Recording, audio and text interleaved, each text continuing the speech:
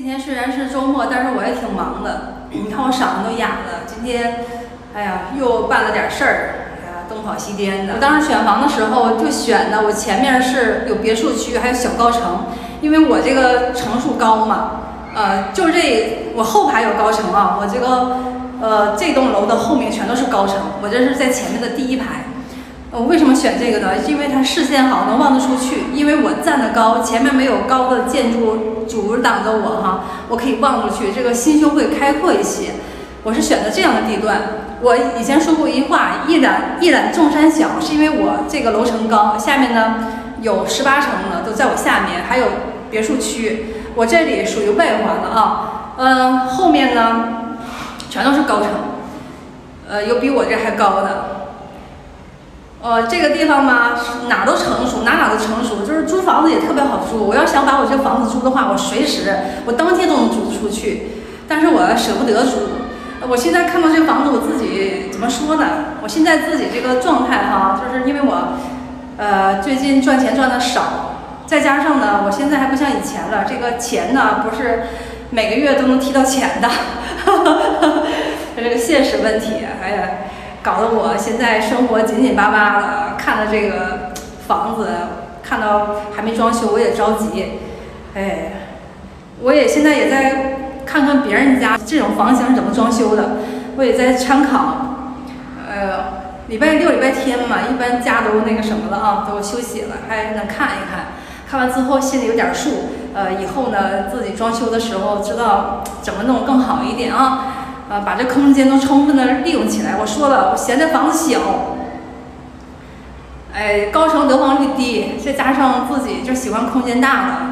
我现在一闭眼睛，我就想到，最好是三百多三百多平米的，有个很大的一个这个衣帽间。女的嘛，你别看我每天就穿几件破衣服，其实我衣服挺多的。呃，都压箱底儿了，我都把它挂起来。这要一挂的话，得需要多大面积啊？春夏秋冬各种各样的配饰啥的，鞋子、衣服、裙子。哎呀，想想这房子真的太小了。嗯，不过我也就这点能力了。呃，我还重复说一遍哈，有朋友就觉得，哎，你在上海买个房子好像是啊牛逼了，别人看我就不顺眼了。呃，就说我这说我那，我说完这话我都恶心了。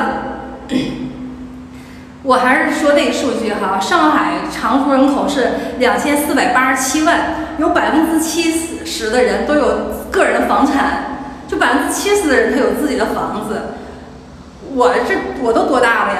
你看我这老大不小了，我就算我就买一个能怎么样？这不很正常的事儿吗？当你们说话把我说的好像那个我高调。然后那个我炫啊怎么样的，我自己都恶心。我骗你们，我是畜生哈！听到这话我都恶心，想吐。哎呀我的妈呀，多平常多普通的，而且我是，我觉得我是属于社会中底层的，不能说底层，我就是觉得我是中底层的人。我自己都没自信，我都想买个大一点的，我都买不起。我都觉得这个房间小，那个房间小，但我又没有能力，无能为力。我就这点能力了。我都觉得我自己挺那个丢人的，哎，你们还把我整成这样那样的，说的那样那样子的，我也不知道你们什么心理，我去，哎呀，我这都都想爆个粗口，哼，哎呀，就是你们自己要是不能做到的事情，如果别人做到的话，你能把别人踩死。我屁都不是，到现在我一看到这房子，我就觉得我他妈真穷啊，我连装修都装不了，我就是这样的心理，而且我还挺着急赚钱，又赚不到钱。啊，着急也没有用，你还得按部就班的该干啥干啥，务实一点儿。你有能力赚一块钱，你就别想着你赚不到十块钱，十块钱超出你能力范围之内，你就不要想那些事儿了。人啊，现实一点，真实一点。我就是普通的小老百姓，你可以去看看数上海的数据，可以看看北京的数据，看看各大城市的数据。人家他妈的，我眼前全是别墅，人家那别墅都扣子都不住，都放在那儿。有的买的别墅都放了，还有一些没装修的，就说就是说买完之后都没住，人家都是有钱人，买完都不住就放那空着。有一些在别墅里开公司的，哎，我眼前就是这些东西。我看到人家那别墅区哈，家里是住的老人了，都不过来住，就发现我屁都不是，我没有能力说弄一个房子让我父母来住，然后我平时都不回来。所以说呀，这个我们人和人哈。不要用你自己的思想来去考虑别人，我也不要用我自己的思想来考虑别人，因为人家有这个能力，那个别墅区的，我啥都没有，我得务实一点，我把自己的事情弄好了就行了。该着急着急，该上火上火。你钱赚不到，自己努力，能赚一毛是一毛，能赚一块是一块，就凭自己的本事和能力，你该咋样就咋样了。我无怨无悔，我也不会说这个好高骛远的，我也不会说看别人日子比我过得好，我就羡慕嫉妒恨，跟我屁关系啊！我的能力只能让我过得现在这样子，所以说你们的心态一定要摆正啊！我们每个人的生活环境不一样，呃。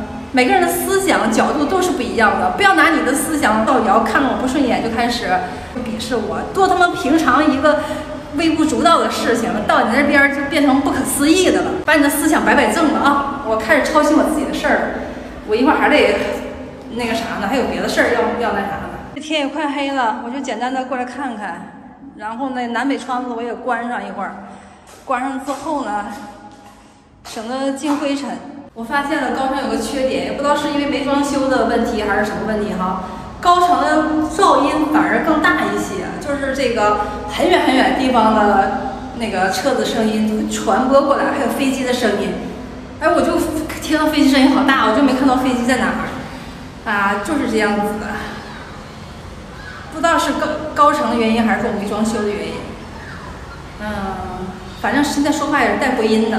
哎，有点热了啊。但是上海的热跟我家乡的热，那时候热还不一样，比我家乡要要容易接受一些。唉，晚上了，想晚饭有没有着落了，我就不给你们说了啊。朋友们啊，这个视频是我随口念来的，嗯，当然了，这个里面带了点情绪，大家伙儿也不必介意啊，真的是。被那些无聊的人给烦到了，没气，不需要生气，就是挺烦的，怎这么多无聊的人呢？所以说呢，哎呀，这个我的情绪我不想，我不想把我的情绪带给你们啊。只有个别的神经病，咱不理他们就是了啊。大家伙儿别介意啊，呃，这没办法，我一到上海他们就这样。